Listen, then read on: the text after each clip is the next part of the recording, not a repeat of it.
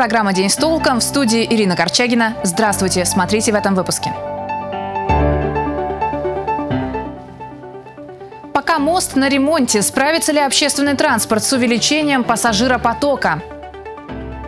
Конфликт между людьми и бизнесом. Как можно решить дурно пахнущую проблему в Первомайском районе? Трехрублевая монета стоимостью в 5 тысяч. В России выпустили новую монету к столетию Чуйского тракта.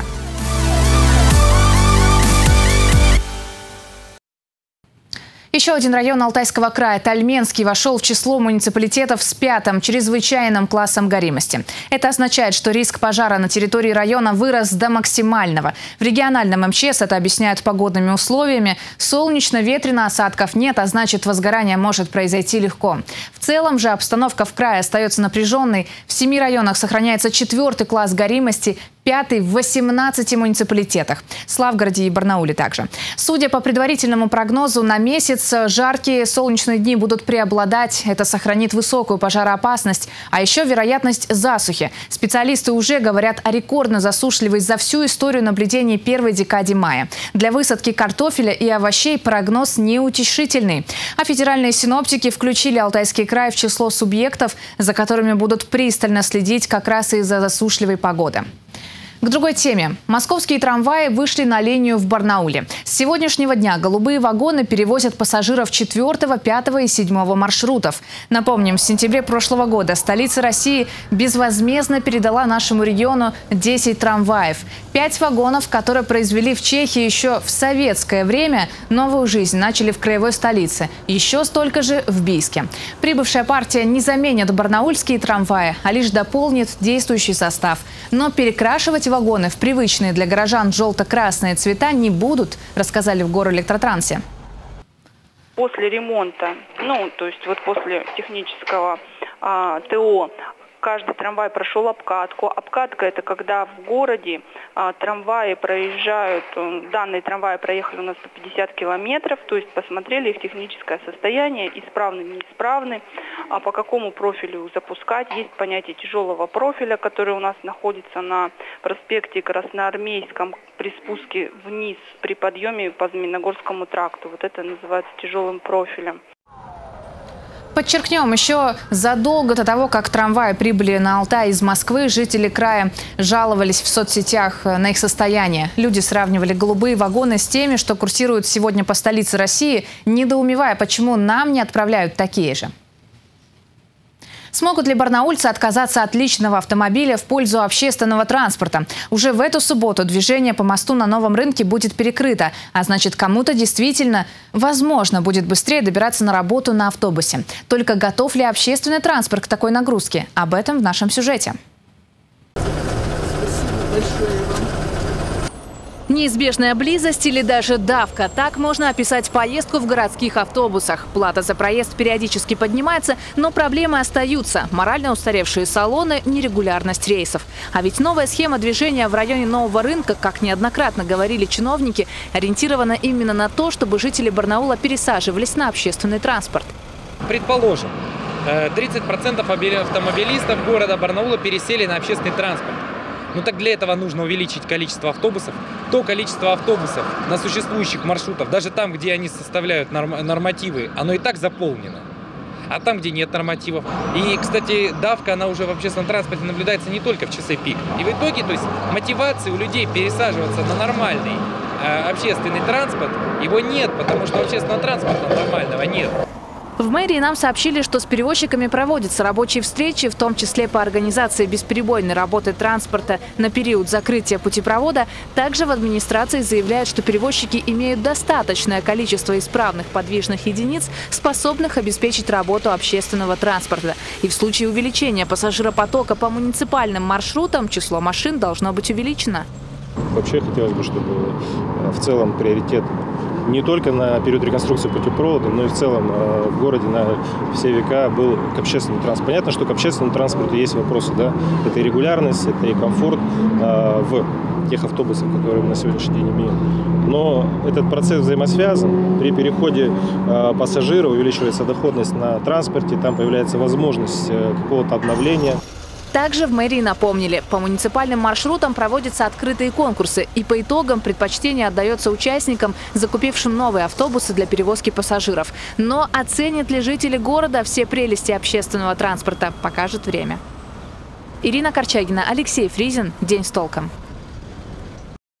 А вот судьба лебедей, которые долгие годы располагаются на мосту на новом рынке, с начала ремонта объекта взволновала многих горожан. И вот стало известно, что лебединый вопрос обсудят за круглым столом в конце мая. Напомню, лебедь Андрюша когда-то появился благодаря его создателю Валерию Метелице. Позже его идею поддержали другие, и теперь на мосту целая лебединая семья. Это своего рода символ Барнаула. На мост уже неоднократно выезжали представители общественности и депутаты, чтобы обсудить, куда перенести птиц после после того, как стартуют ремонтные работы. Конечно, ремонт моста э, повлечет за собой демонтаж этих конструкций. Рассматриваем различные варианты. Э, мне представляется, что все-таки судьбу э, лебедей должны решать и жители нашего города. И уже сейчас, в, после опубликования этой новости о том, что мы занимаемся этим вопросом, жители города пишут и в социальных сетях, предлагают свои варианты. Кто-то желает видеть их э, в одном из городских парков. Желание приютить лебедей высказали учащиеся и сотрудники школы искусств «Традиция» во Власихе. А ребята из молодежного парламента предложили помощь в реставрации скульптур. Мы планируем следить за судьбой лебединого семейства и обязательно расскажем, куда в итоге его переселят. И к другой теме. На одну точку социального напряжения в Алтайском крае станет меньше. Найден конструктивный способ решить затяжной конфликт между людьми и бизнесом в Боровихе Первомайского района. Селяне много лет страдают от тошнотворного запаха с завода по производству костной муки. За помощью в устранении зловония люди обращались во всевозможные инстанции, к властям разного уровня, а также в СМИ и к депутату Госдумы Александру Прокопьеву. Его рабочая группа детально изучила вопросы и инициировала встречу, которая которая и дала зеленый свет в решение вонючей проблемы. Тему продолжит Елена Макаренко. С работы идешь, а же реветь охота. Вот так все выворачивает. По выходным тоже? И по выходным тоже. Громкая история за Пашком больше семи лет. Еще в 2015-м жители Боровихи объявили войну местному заводу по производству костной муки из-за смрадного запаха. Лето, жара, духота, и мы с закрытыми окнами. Дышать нечем абсолютно. С требованием избавить село от вони к руководству предприятия, которое в нескольких метрах от жилых домов, люди сначала обращались самостоятельно. Позже писали жалобы местным властям, а потом и вовсе обнародовали проблему. Пригласили СМИ. Даже сами чиновники говорят, что нарушено то-то, то-то. И, э, и это все, ну, как бы оно толком не рассматривается. Только за три последних года завод четыре раза навещали разные надзорные органы. Они вынесли с десяток предписаний, а в 2020-м по решению суда предприятие на месяц даже приостанавливало деятельность. Кто называет технический жир, кто называет просто биологический отход. Но вот этот продукт, он не учитывался ни в одной из систем. Справедливости ради отметим, большинство нарушений завод устранил. Для этого на предприятии провели частичную модернизацию. Установили специальные фильтры и шлюзы. Но полностью от зловонного запаха Боровиху это не избавило. Люди продолжали настаивать на закрытии завода, но он обеспечивает работой несколько десятков человек и исправно платит налоги. Здесь у меня бизнес основан. У вас бизнес, а жизнь. Три года назад инициативная группа жителей обратилась и к депутату Госдумы Александру Прокопьеву. По его запросу в краевой администрации вице-губернатор Лукьянов провел совещание. Обсуждали, как костный завод соблюдает земельное, лесное и природоохранное законодательство. Через год был направлен очередной депутатский запрос на имя Лукьянова. Его суть – попробовать разрешить конфликт не с помощью карательных мер, а конструктивно. И вот, наконец, спустя полтора года, а за это время сменился и директор завода, и руководство района, первый шаг сделан сделан. В администрации Первомайского района проходит встреча всех заинтересованных лиц. Здесь ваша помощь понадобится по этому вопросу. У нас задача ключевая, чтобы предприятие работало, мы же не злодеи, соответственно, предприятие работало, развивалось, но чтобы и жителями как бы у нас этот вопрос был разрешен. Участники встречи сошлись во мнении о переносе костного завода в другое место. Осталось найти такое, что совсем непросто. Новый участок должен отвечать санитарным нормам, то есть находиться не ближе, чем за тысячу метров от населенных пунктов и быть обеспеченным необходимыми коммуникациями и подъездными путями. То есть логистически вам вот это устраивает? Нам очень идеально, потому что мы со стороны Бийска везем всю Бийскую зону, весь Барнаул мы свозим. Мы возим и по старому мосту, и по новому мосту. Если администрация района подберет оптимальный вариант, руководство завода готово комплексно модернизировать предприятие. По словам директора, это будет уже не просто цех по переработке, а завод замкнутого цикла. Мы увеличим не только объем производства, мы увеличим качество производства. Да, мы можем минимум в два, даже еще в разы увеличить количество рабочих мест. По подбору участков точно формального отношения не будет, потому что я прекрасно понимаю, что такое производство. Промышленное производство должно быть в Первомайском районе. Ну, это, во-первых, прежде всего рабочие места, но оно должно быть э, как бы обоюдно, скажем, выгодное и для предпринимателей, и для администрации, и для населения. Участники встречи готовы совместно искать новое место для завода. Для этого решено составить техническое задание, где будут прописаны требования к земельному участку. Мы все заинтересованы в том, чтобы бизнес работал и развивался, но не в ущерб а, интересам жителей села. Поэтому я предложил создать наблюдательный совет и в том числе включиться в эту работу в онлайн-формате для того, чтобы мы могли обмениваться информацией и при необходимости подключаться в режиме взаимопомощи. Это такая первая конструктивная встреча. Ее ценим достаточно конструктивно. Следующая встреча, где уже представят варианты для переезда костного завода, пройдет через месяц. Мы будем следить за развитием ситуации. Елена Макаренко, Дмитрий Денисов, Вадим Быстревский. День с толком.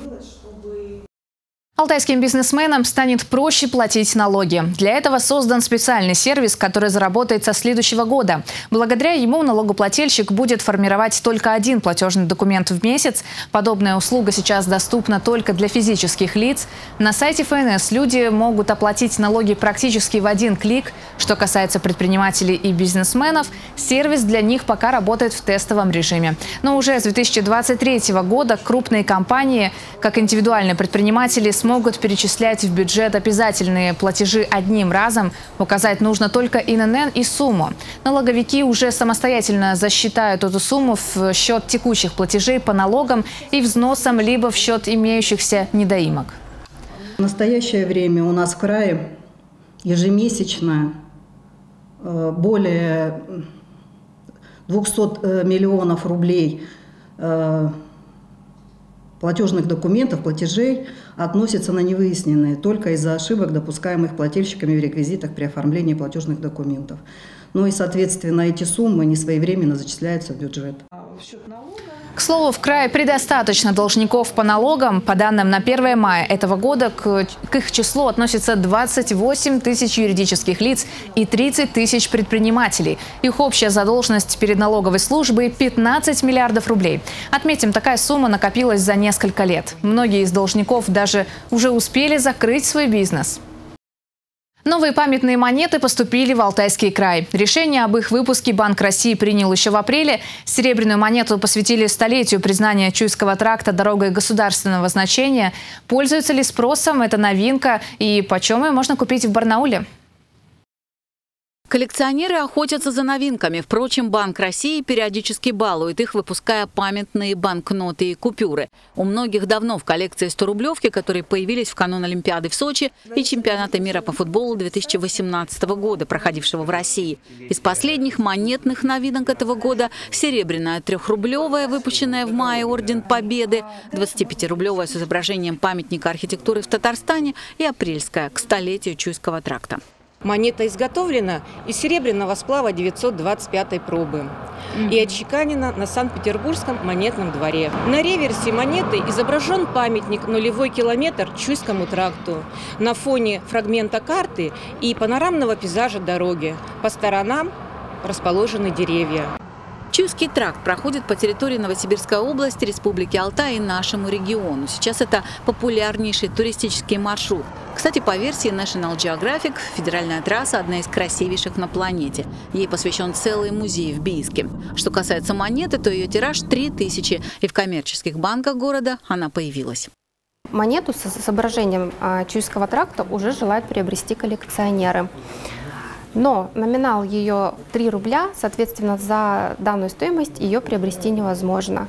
А в продаже за 5300 Конечно, любую монету, выпущенную после 1997 года, можно использовать как средство для расчета по ее номинальной стоимости, говорят специалисты. И эту тоже. Правда, они же отмечают, это было бы по меньшей мере странно, к тому же себе в убыток. Так что лучше просто хранить Чуйский тракт в серебре, ведь спустя годы его цена может еще значительно вырасти. Татьяна Голубева, Алексей Фризин. День с толком. Сегодня свой профессиональный праздник отмечают врачи-пульмонологи. Каждый год они борются с болезнями гортани, бронхов, легких и других органов дыхательной системы. Пациенты с наиболее сложными проблемами органов грудной клетки попадают на операционный стол к таракальным хирургам. Какие заболевания легких чаще всего диагностируют у жителей Алтайского края и какие операции за последние годы стали проводить в этой сфере чаще? Об этом расскажет София Яценко. Просто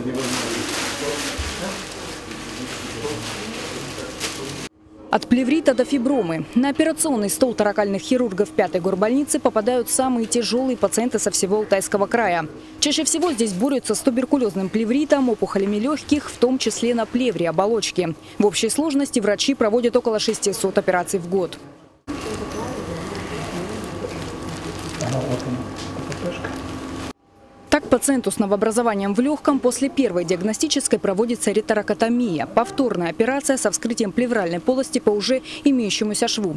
Ее сложность в том, чтобы не повредить легкое при удалении опухоли. К слову, в Барнауле стали чаще оперировать и пациентов с образованиями и гиперплазией вилочковой железы. За последние 7-8 лет их число выросло в 10 раз. Светило медицины, профессор и доктор медицинских наук, пульмонолог Яков Наумович Шойхет взрастил много специалистов. Благодаря его научным работам уровень пульмонолога пульмонологов и таракальных хирургов в крае выше большинства регионов России.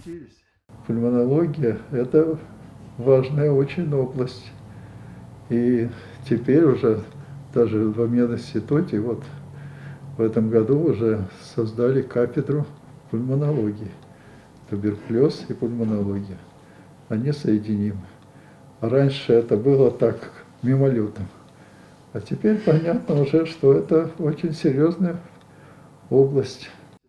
Особую важность эта сфера приобрела в период пандемии, когда врачи сутки напролет боролись за каждый вздох пациентов. Мои коллеги, конечно, молодцы. Правда, они меня не пустили, сказали, будем сохранять вас. Но сами они, конечно, молодцы, они четко знали, как делается. Категория их мозгов, она высокая – и поэтому они, в общем-то, сделали очень много для того, чтобы многих спасти в этой больнице. К слову, из-за пандемии увеличилось число запущенных случаев болезни и недиагностированных пациентов. На сегодняшний день эпид-обстановка стабилизировалась, а значит у врачей появилось больше возможностей вернуться к сложным пациентам. София Яценко, Андрей Печоркин. День с толком. В Барнауле продолжают выбирать территорию, которую благоустроят в 2023 году по нацпроекту «Жилье и городская среда». Сейчас в голосовании лидируют э, Зеленый сквер на площади Октября, Сиреневый бульвар за улицей Попова и парк культуры и отдыха «Центральный». Старейший парк Барнаула – одно из любимых мест барнаульцев. И это подтверждает голосование. Центральный в тройке лидеров конкурса. Он набрал уже больше двух тысяч голосов. Сегодня этот парк является точкой притяжения для наших жителей. Здесь собираются люди семьями, отдыхают, проводят время. Парк э, находится в очень удобном историческом месте, э, фактически в центре тур-кластера нашего города Барнаула. Неизвестно, станет ли парк победителем, но он точно нуждается в серьезном обновлении. Необходима реконструкция фонтана, замена плиточного покрытия и новое освещение. Существуют идеи дополнительной прокладки благоустроенных пешеходных аллей в южную сторону, вот от фонтана в сторону реки Барнаулки. Существуют идеи по комплексному а, а, благоустройству, по созданию а, набережной двухсторонней реки Барнаулки с новым пешеходным мостиком. Это парк, в котором традиционно проводились и сейчас проводятся практически все районные городские мероприятия Поэтому мы рассчитываем на поддержку не только жителей Центрального района, но и жителей города Барнаула. Проголосовать за парк Центральный или другой уголок Барнаула, который ждет преобразования, горожане могут до 30 мая на странице за городсреда.ру или на официальном сайте Барнаула через виджет общественного голосования госуслуги «Мой выбор. Мое будущее». Кроме того, в помощь барнаульцам волонтеры. Они помогают людям оставить свой голос за один из объектов благоустройства по трем адресам в торговых центрах «Пионер» и «Гэлакси», а также в МФЦ по Ленина 6. Дмитрий Дроздов. День с толком. В Баевском районе прошел краевой турнир по шахматам. В интеллектуальном бою сошлись совсем юные дети. Некоторые из них еще даже не ходят в школу. Оказывается, сегодня шахматы вновь набирают известность. Да, классическая игра не в моде, а вот Блиц популярен как никогда. На турнире по быстрым шахматам побывала Анастасия Наборщикова. Знакомьтесь, Артем – будущий гроссмейстер и чемпион мира по шахматам. Цель его амбициозна, но и логика железная. Позиция вдумчивая. Сегодня первоклассник на соревнованиях в селе Баево. Из Барнаула он приехал, чтобы обыграть ребят из Мамонтова, Завьялова и Панкрушихи. Всего 10 делегаций. 62 игрока разыграют 4 комплекта медалей. Обладатели золота схлестнутся за звание абсолютного победителя. Тогда я вначале пешечку сожру, потом чтобы корняшку заберу а потом мы сыграем так вот и выиграем пешечку. И все. В прошлом году Федерация шахмат Алтайского края выиграла президентский грант, э, направленный на то, чтобы открыть э, детский шахматный клуб, сельский именно, в семи районах Алтайского края. Когда мы заходили в район, мы видели, что там вместо пешек там э, пробки в списке есть Благовещенский, Советский и Романовский районы. Сегодня проект охватывает более 10 тысяч школьников. Половина из них – ученики младших классов. Первый шаг – привлечь сразу 8%, а это 420 детей. Повтори, пожалуйста. А вы знали, что правильные шахматы развивают моторику? По правилам, говорит Артем, одной рукой нужно сделать шаг и остановить время. Поэтому мальчик любит тяжелые фигуры. Здесь все как надо, даже часы, как у мировых гроссмейстеров. Нужно развивать мышление, нужно думать. Э, хотели выработать внимание, усидчивость. Поэтому другими видами спорта тоже можно параллельно заниматься. Ты постоянно вьешь во время игры, тебе это как-то помогает? Нет, просто я, я иногда себя вот так вот стучу, у меня какие-то мысли приходят в голове. Пожертвовать, допустим, ферзя, а потом выиграть ладью, ладью и коня. Это 13 пешек. Такая заготовка принесла победу. В своей возрастной группе Артем взял золото. Правда, абсолютным победителем стал игрок из Мамонтова Денис Майер. Его команда по итогам турнира оказалась самой титулованной. Елена Кузовкина, Анастасия Наборщикова, Алексей Фризин. День с толком. У меня на этом все новости. Смотрите нас на 22 кнопке и в соцсетях. Для вас работает телефон нашей редакции 205 545. Через несколько секунд узнаем, какой будет погода. Спонсор прогноза – компания «Эвалар». До встречи в эфире.